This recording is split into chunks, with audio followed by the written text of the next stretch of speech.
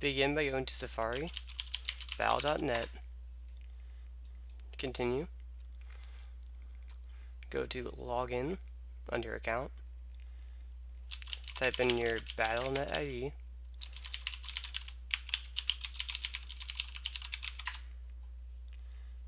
from there go to manage my games,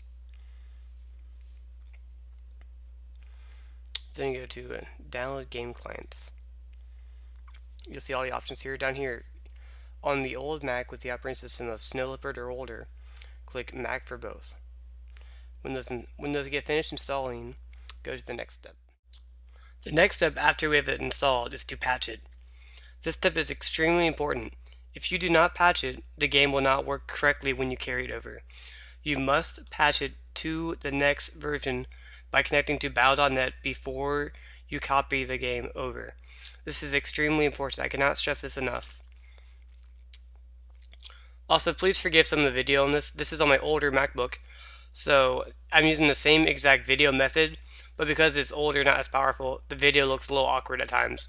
But be assured that it's completely running normally. It's merely the recording tool.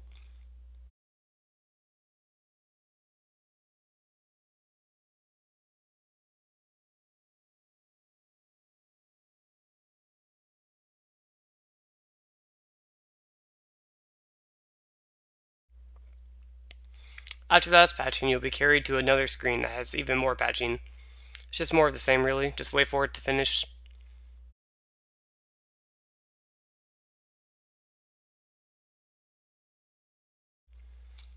After that patch is finished, the game should load normally. Again, the video is a little weird. But at this point, the game is completely playable.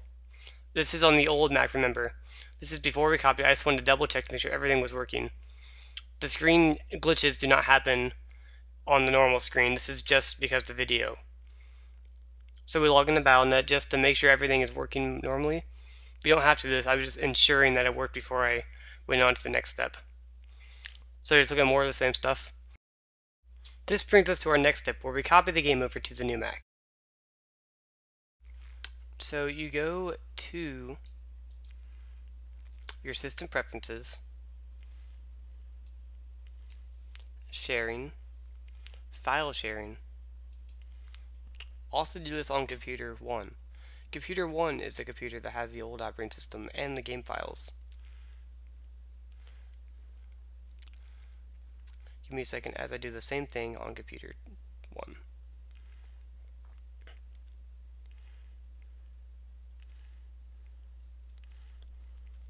After doing this, you can X out of sharing for now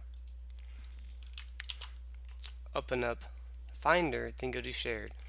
This should show the other MacBook you are using. Connect as. This is very important. Do not put in the name for the computer you are using currently. Put in the name and password for the other computer. This will give you the rights to go on anything on their computer. Usually folders are going to be just general stuff. You want to find one that's just the username because this has all their things.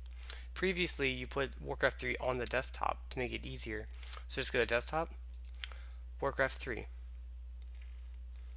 Now you see all the game files.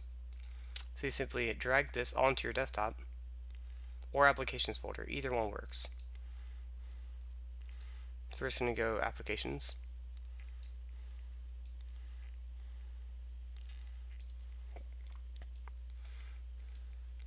It should take anywhere from 10 seconds to a couple minutes to download depending on your connection. I'm using Verizon and I also have both computers going to the Ethernet cable, so it's going to be pretty quick.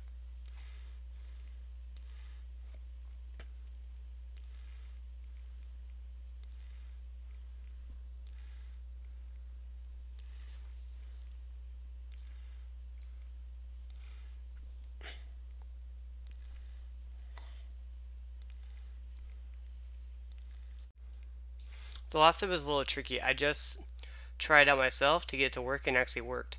So in your applications folder, in the Warcraft 3 folder, go to the Frozen Throne. I, am going to show you real quick. If you try to open it normally, you're going to get a bug error. See, you're going to have that. Don't worry, just ignore it. Right click, show package contents. Click contents. Mac OS, then you'll see something called the Frozen Throne, which is really small. The funny thing is, if you click it, there's Warcraft 3.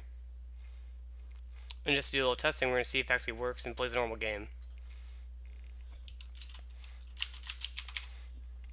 So here's my profile, just normal name. We're going to go to I might. I don't think I have any saved games. I might, but I think I, it, whenever I installed it, yep, it got deleted. That's fine. So we're gonna try a campaign. I'm just gonna see if it's playable. Last night it was. Let's go. Night Elves.